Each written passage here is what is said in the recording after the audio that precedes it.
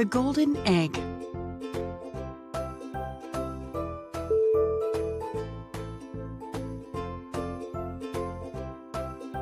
Once upon a time in a village, there lived a farmer.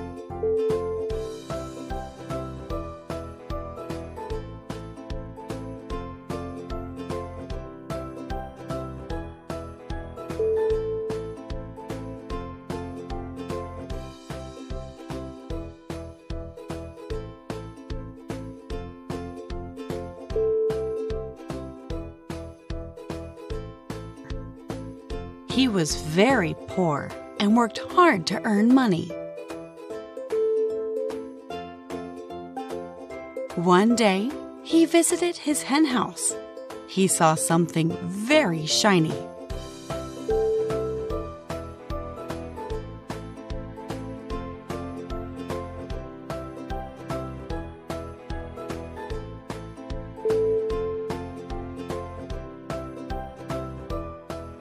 Shortly, he found that one of his hen lays a golden egg every day in the morning.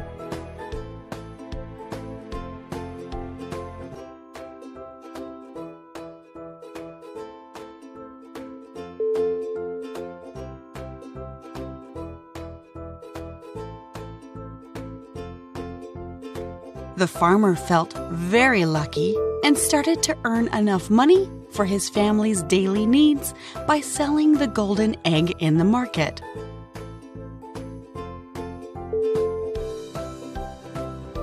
But one day, he got an idea. Why one egg each day? Why can't I take all of them at once and make a lot of money? His wife also agreed to cut the hen.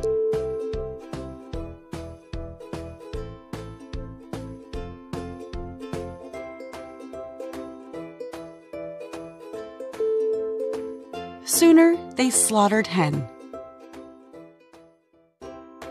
They found there was nothing but guts and blood. The farmer, realizing his foolish mistake, cried over the lost resource. So, Kid's story tells us always think before you act. Don't forget to leave a comment, and for more videos, subscribe to our channel.